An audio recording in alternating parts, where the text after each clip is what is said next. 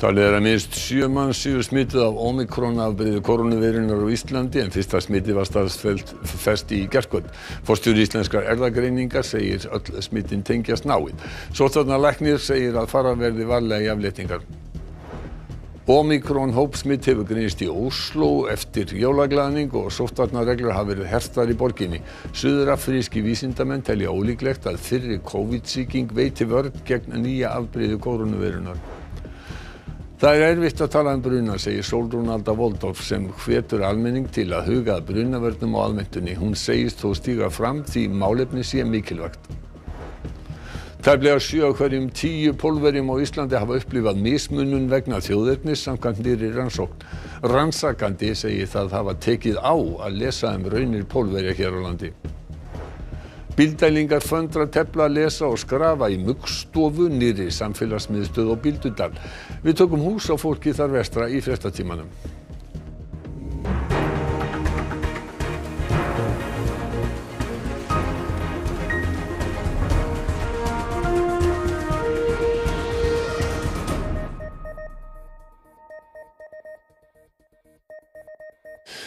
Gott kvöld. Þrýr hafa greinst með staðfest omikron afbrigði koronaviruna hér á landi. Kári Stefánsson segir að grunur sé um fjögur smit til viðbótar. Sóttvarnalæknir segir að verið sé að kanna hvort fyrsta smitið tengist útlöndum. Karlmaður á áttræðisaldri liggur á landsbytala með omikron afbrigði veirunar. Hann er fullbólusettur með örfunarskamt. Sóttvarnalæknir segir hann ekki með mikil kóetenginni. Hann hafði legið inni í nokkur tíma hjá Hilbriðstofnun Vesturlands. Hann var í sóttkví þegar hann greindist með virt smitt og fjölmargir starfsmenn stofnunarinnar því farið í sínatöku.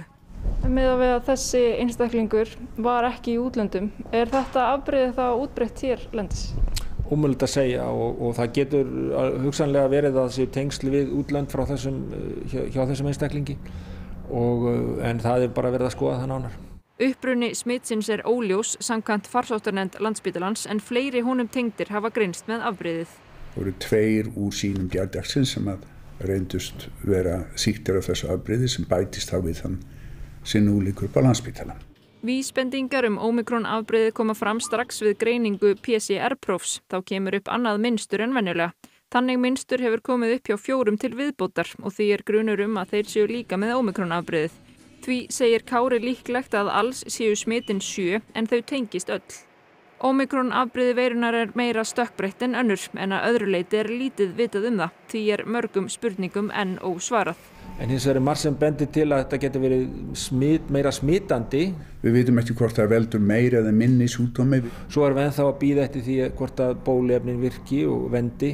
Það er hins vegar full ástæði til að, að fylgjast með þessu. Það eru margir af, af þeim sem hafa greinst eru full bólusettir en, en við þurfum aðeins að sjá betur hvernig, hvernig það spilar. Nú ræðgreinum á hverjum degi til að fylgjast með því hvernig þetta afbreyði dreifir sér í Íslands samfélagi.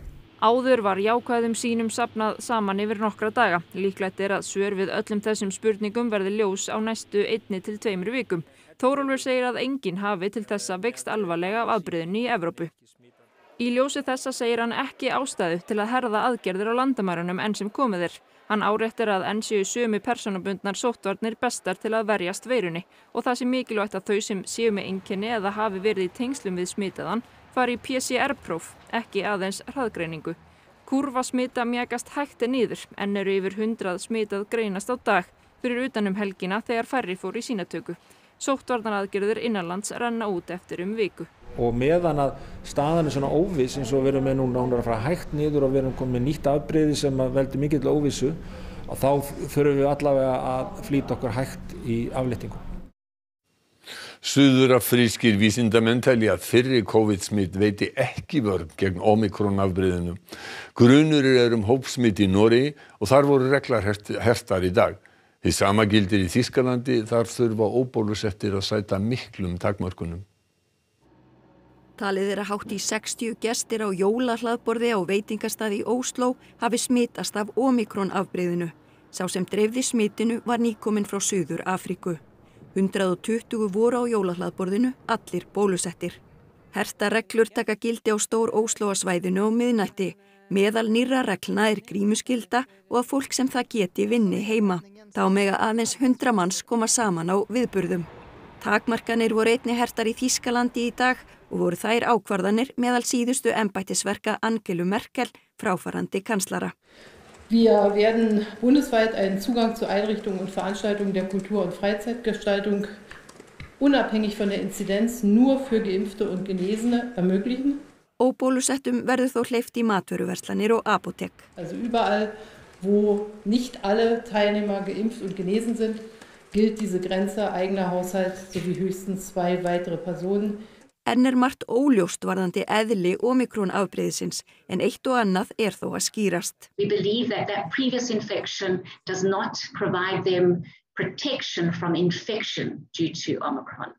It, however, hopefully provides them with protection against severe disease, hospital admissions and death. So I think that's the first message and data are becoming available. Þá segir prófessorinn talið að afbreyðið sé álíka smitandi og delta. Þó séu fleiri smittættu nú en áður þar sem talið sé að eldra smitt vergi ekki gegn síkingu. Solrún Alda Voldorf sem að brendist illa í brun árið 2019 hvetur almenning til að huga vel að brunavörnum á aðventunni. Hún tekur þátt í árvekni átaki húsnæðis og mannvirkjastofnunar og verður gestur Einars Þorsteinssonar í Kastljósi kvöldsins. Solrún Alda segir að bataferli hennar hafi gengið betur en fólk þorði að vona en þrátt fyrir það glými hún enn við talsverð veikindi. Eldurinn kviknaði út frá ólíu í potti í kjallara íbúð þar sem Solrún var með kærasta sínum. Slökkuliði tókst við íllan leik að bjarga þeim út. Solrún segir að í ljósi þess að útköllum fjölgar mjög hjá slökkuliðinu í desember sé mikilvægt að fólk hugi að brunavörnum og undirbúi flóttaleiðir. Mér finnst svona lang flestir bara að vera með reikskinjara sem er settur upp, kannski ekki nógulega marga mm -hmm. en margir sem ég þekki allavega fyrir mitt slis voru ekki með eldvarnateppi eða slökkutæki það var bara einhvern veginn gert ráð fyrir að reykiskinjum væri nú Finnst þér ekkert erfitt að tala um þetta? Uh, jú og nei, það er náttúrulega erfitt að vera alltaf að rifja þetta upp en rosalega fljótlega eftir að slísi gerðist þá var ég rosalega staðráðin í því að þetta er ekki bara eitthvað neikvægt í lífinu mín og ég vildi gera eitthvað útrúsu, eitthvað jákvægt mm -hmm og ég er bara svo heppin að geta fengið tækifæri að vinna þetta verkefni. Og vonandi bjarga ykkur um. Stjórnmálinn, fjármálar á þeirra segir vélar samfélagsins komnar á snúning og bjart sé framöndan. Stjórnar anstæðan sakkaði ríkistjórnina um valdnýðslu og fautaskap í aðdraganda fjárlagaumröðum. Þingmaður samfélkingar í fjárlaganend segir ríkistjórnina leggja til sömu uppæð til ofslagsmála og í landbúnaðastyrki. Það má segja að það hafa orðið uppi fótur og fytt við upp að þingfundar á alþingi í morgun þegar í ljóskoma fjárlagafrumvarpið hafi verið sendt til umsagnar áður en fjármálar á þeirra meldi fyrir því og fjárlaga nefnd komið saman. Var ríkistjórnir sökuð um valdhróka gagvart minnilhutanum. En vonandi er hér lát á því sem ekki er hægt að líta, lít, lýsa öðruvísi en vald nýðslu að hálfu hinnar nýju ríkistjórnar. Ég ætla nú bara að beðast afsökunar á þessum mistökum mínum sem uh, formans fjárlaga nefndar og tek það á mig Mér var tjáð að þetta væri venja og hefði verið í áratugi með umsagnarferli fjárlaganefndar og síðan hefði það verið tekið fyrir á fyrsta fundi hennar hvort bæta ætti við framvegis. Ég tek afsökunarbeiðni eh, nýs formans fjárlaganefndar gilda en upphaf þessa kjörtímabils og upphaf þingstarfsins hér einkennist af fautaskap. Eftir töluverða umræðu um þessa atbyrðar ásmælti fjármálaráþara fyrir fjárlagafrumarfið næsta árs en ekkert samkomulag er um fyrirkomulag umræðunar sem hefur staðið í allan dag og verður einning á morgun. Það sem okkur hefur tekist að gera er að tryggja hér vaksandi kaupmátt allra og því er spáð að það haldi áfram. Menn verða að horfa á spána um hagvöxt á næsta ári. Við búum í kraftmiklu samfélagi þar sem að meira eða minna allar vélarnar eru komnar á snúning Hér hefur þó ekkert breyst frá áætlun ríkisstjórnarinnar frá því í vor þar sem lagðir eru 13 milljarðar í loftslagsmálin. Þetta jafngildir þeirri upphæð sem greitt er út í beina styrki til landbúnaðarins. Ef þið getið sett 13 milljarða í loftslagsvána þá getið þið sett 26 milljarða í fólki fyrst. En við skulum umfram allt útrýma fátækt. Íshellan í Grímsvötnum hefur síið um 17 metra á rúmri viku. Vatnamælingamenn á svæðinu segja að renslið í Gíjukvísl hafi nær þrefaldast síðan hlaupið hóst fyrir um þremur sólarhingum. Það er tífalt rensli árinar miðað við árstíma. Rafleiðni sem gefur til kynna magn hlaupfatts í ánni fer hækkandi en gas við jökulsporðin er vel innan hættumarka. Jarðvísindamenn telja áfram að flóðin á hámarki á sunnudag. Vísindamenn eru sammála um að Grímsvötn séu tilbúin að kjósa. Næri sjö af hverjum tíu pólverjum hafa upplifað mismunun vegna þjóðurnis hér á landi samkvæmt nýri rannsókn sem um 1000 pólverjar tóku þátt í. Meira en helmingur hefur mátt þóla hatursorðræðu. Í sumar fengu Eirún Eithórsdóttir lektor í lauruglufræði við Háskólan á Akureyri og Eva Maria Ingvadóttir meistarnemi styrkur nýsköpunarsjóði námsmanna til að rannsaka byrtingamind haturs í garð pólveri á Íslandi. Í starfi mínu sem ráðgjafi fjölmningar hjá Akurabæ hef ég stundum lendi því að fólk hefur greint frá eða deilt með mér sögum af til dæmis hatustjáningu eða mismunun og eftir að ég kynnti mér smá það sem að Eirún Eðurstóttir lektor í lauruglufræði hérna við Háskólan Akureyri hefur verið að vinna að þá ákvaði ég bara svona að tengja saman þessar tvo heima og hafði samband við hana og saði eigum ekki kannski að skoða bara þennan málaflokk aðeins betur. Það verður að segjast að niðurstöðunar þar eru nokkuð sjokkarandi því að um 70% þeirra sem tóku þátt sögust af orðið fyrir mismunun á grundvelli þjóðarnis. Um 60% höfðu orðið fyrir haturs orðræðu og um 20% orðið fyrir haturs glæp. Rúmlega 20.000 pólverjar búa á Íslandi og tóku um 1000 þeirra þátt í rannsókninni. Þeim var búið að lýsa aðstæðum sínum og margar ljótar sögur komu fram. Mér var tjáð að enginn vill hafa því hérna og það er eins gott fyrir mig að hypja mig aftur heim.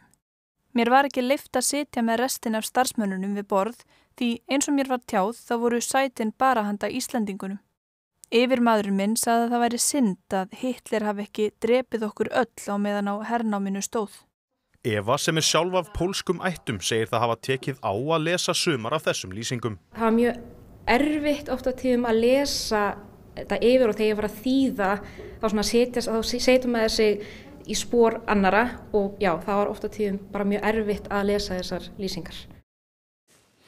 Samgöngur fóru úr skorðum á norður Jótlandi og víðar í Danmörku og í suðu Svíþjóði í gær og í nótt vegna fannfergis og hvasviðris. Um 30 manns bæði viðskiptafinir og starfsmenn þurftu að verja nóttinni í IKEA í Álaborg því þeir komust ekki heim í veðurhamnum. Flest voru þau nokkuð ána með dvölin en það veist ekki um þau. Jeg tog den, der så bedst ud. Jeg aner ikke, hvilken seng det er. Jeg så bare den, der så rigtig god ud. Og hvordan er den så? Fremragende. Vores biler var simpelthen sned inde, så, så vi kunne ikke komme, komme hjem fra arbejde. Og så havde vi læst, at uh, der var folk, der var, uh, der var strandet her i IKEA, så tog vi chancen og simpelthen gik over for at se, om vi kunne få lov til at komme ind. Men har det ikke altid været drømmen? at få IKEA for os selv? Nej, øh, jeg synes, det er fedt. Det er dejligt, at vi lukker os ind og øh, giver os noget varme. Jamen, øh, vi har disket op med lidt øh, lækkert. Altså, vi er jo kommet til øh, den 1. december. Julen står for døren, så jamen, hvorfor skal vi ikke øh, prøve at have lidt øh, risalamang? Hvis det her glas det er for lille, jamen, så har vi også mulighed for at tage, tage en øh, større portion. Vi har noget kakao, noget drys, vi har kaffe, vi har sodavand, og så har vi bare alle tiders hygge her. Meirinn 800 ökumenn hafa verið kærðir fyrir ölvunarakstur á þessu ári nokkuð fleiri enn í fyrra. 1120 hafa verið kærðir fyrir að aka undir áhrifum fíknefna sem er fækkun frá því á sama tími fyrra. Lörglann hefur nú hafið átakvarðandi ölvunarakstur. Marja Seligrún Hilmarsdóttir fréttamaður er á ringbröytinni Reykjavík með löggunni. Marja Seligrún, aðventan er hafinn. Tengist þetta átak henni? Já, það gerir það raun og veru eins og við vitum það meira um samkomur þar sem áfengi er haft um hönd í desember en kannski alla jafna aðra mánuði ársins. Og þess vegna er lauruglan hér búin að koma upp bara vega tálma, það er heila búið að loka hringbrautin í aðra áttina og, og það verður að skilst í einn klukkutíma sem að lauruglan ætlar að taka sér satt áfengismæla alla sem hér fara um næsta klukkutíman en hérna hjá mér er stattur Átni Frilefsson en hann er aðalvarstjóri umferðadeildar lauruglan á höfuborgarsvæðinu Átni, það er núna bara umfrateppa hérna alveg upp að þjóðminnarsafni. Getur aðeins líst þessu sem þið eru að gera hérna núna? Já, hérna erum við að taka sett alla aukumenn sem eru að keira hérna í Östurátt og stoppa þá og aðtuga hvernig ástandið er á aukumennum, hvort þeir eru ölvaðir eða undir áhrifum fíknefna. Þetta höfum við gert núna síðustu ár byrjum alltaf svona snemma á aðvendunni og, og fólk á von á þessu frá okkur eh, nánast eila sama hvaða tíma sólarhings og vítt og breytt um höfuborgarsvæði. Þetta er ekki bara miðbærin, við erum að gera þetta í Hafnafyrði, við erum að gera þetta upp í hérna, efri byggðum, þannig að fólk á bara vona á þessu. Þið voruð ekki búin að vera að þessu lengi þegar þið náðuð fyrsta. Ég held að það hef ekki verið liðinu með eina eða tvær mínútur, þá þið, voruð þið búin að taka einn. Hvað eru þið búin að ná mörgum? Já, sko, því miður, þá, þá var einn sem var ölvaður hérna á þann. Og ég segi því miður því að þetta er, þetta er mjög alvarlegt brot, umfyrirlagabrót. Við erum búin að sjá allt og mikið af slísum og, og hérna, erfiðu málum þar sem fólk er að aka ölvað. E, núna á aðvendunni að þá, þá viljum við aðvendan á að vera þannig að, að fólk á að geta faðmast og, og hérna, verið með sínu nánustu. En, en, og þetta erum við að gera meðal annars e, til að reyna að ná þessum aðilum sem eru ölvaðir. Þannig að þeir valdi ekki einhverjum slísum og, og hérna, öðrum óskapnaði. Einmitt það. Þakka fyrir þetta átni og við hverjum hérna úr hríðinni á ringbrautinni og ég held að sé gott að minna á gamalt og gott slagorð eftir einn eigi akineit. Takk fyrir það Marja Sigrun og átni. Fyrsta lonan er farin að veiðast en veiðar fara rólega af stað. Rústlandsmarkaði fyrir fyrsta lonu er lokaður og því verður lonan breytt í verð minna mjöl framan að vertið. Undirbúningur fyrir stóra loðnuvertið er í fullum gangi hjá loðnuvinnslunni á Fáskrúðsverði. Þar er verið að standsetja nýtt og fullkomið uppsjávar fristihús. 35 yðnarmenn vinna þar sleitu löst við framkvæmdina sem kostar um 1,1 miljard króna.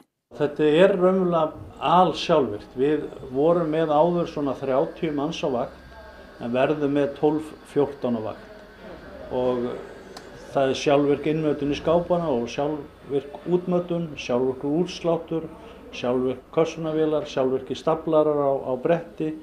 Þetta er miklu meira bara eftirlistörf. Stæðan fyrir þetta var mjög erfið vinna hjá okkur áður. Ekki þarf þó að segja neinum upp. Heldur veður hægt að hafa bolfiskvinnsluna öflúri á sama tíma.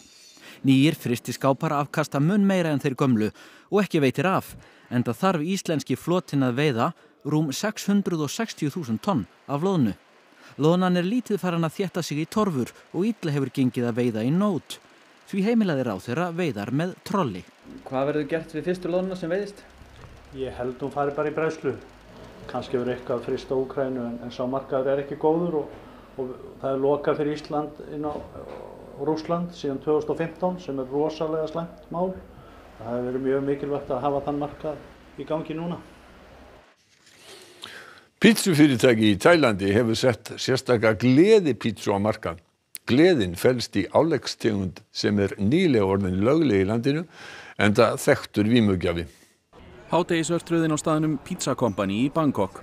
Nafnið er ekki sérstaklega frumlegt en undir yfirborðinu leynist frumlegra nafn á pítsu, Crazy Happy, brjálaða gleðipítsan og aðal áleggiðir korki, ostur, skinka eða ólífur, þaðan af síður ananas, heldur kannabislauf. Staðurinn er þarna að nýta sér nýlegar tilslaganir í fíknefnalögjöfinni á Tælandi, þannig að leift var að nota kannabis í litlu magni í mat og drikk. En þó að kannabis sé sannarlega vímugjafi, fullir þér framkvæmdastjórin að enginn komist í vímu af þessari pítsu.